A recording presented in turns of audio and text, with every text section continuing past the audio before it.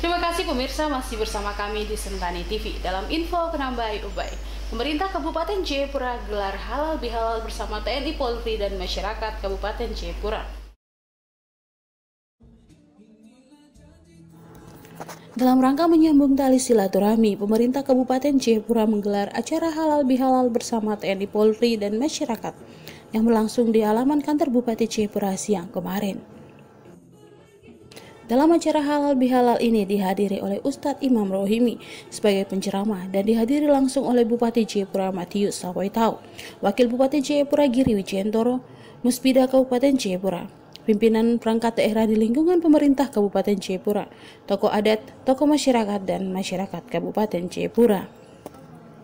Dalam sambutannya, Bupati Jayapura Matius Awaitau mengatakan, acara halal bihalal ini merupakan langkah untuk membangun kekeluargaan keragaman yang ada di Kabupaten Jayapura, sehingga dapat terbangun hubungan yang harmonis antara pemerintah, unsur muspida, tokoh agama, tokoh adat, dan masyarakat.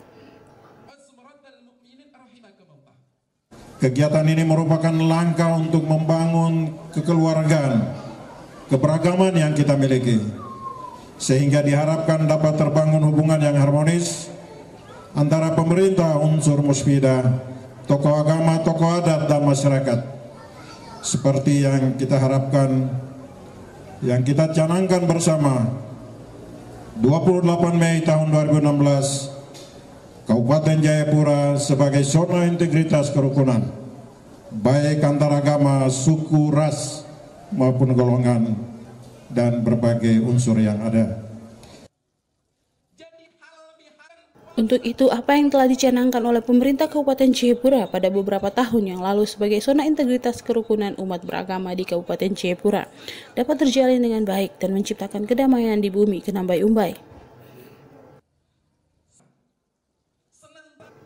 Dari Sentani, Aditya Setiawan Sentani TV melaporkan.